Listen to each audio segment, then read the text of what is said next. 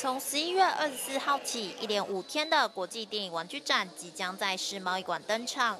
热爱欧美电影的观众朋友可有福了，在展览当中将可以看到一比一等比例的钢铁人服装展示，还有星际大战 Q 版战士等知名电影人物出现。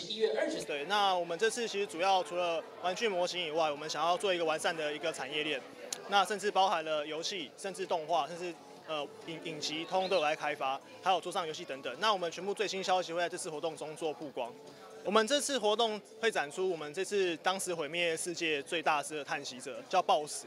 那基本上到时候会有它的涂装品，大家可以做参考。那我们也会收集各位有兴趣的人，我们会将你们的名单记录下来。那我们在最新发布的时候会跟你们通知，就做第一手的消息的限量跟异色版的发售。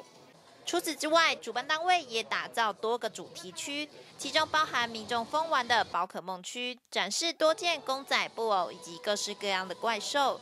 从第一代的皮卡丘到最新出版的马里奥皮卡丘都有，让民众一次看足丰富的展品。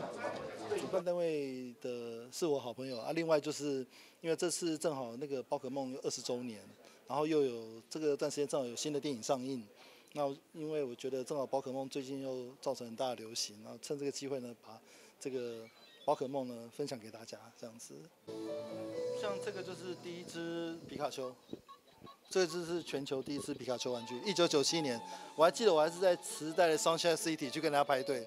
您熟悉的英雄联盟、钢铁人、小小兵等等的知名电影角色，都将在展场中与您见面。同时搭配展览期间规划的 coser 大募集活动，只要扮成自己喜爱的角色，就可以获得小礼物。欢迎有兴趣的朋友来展场逛逛，抢好康。记者温君采访报道。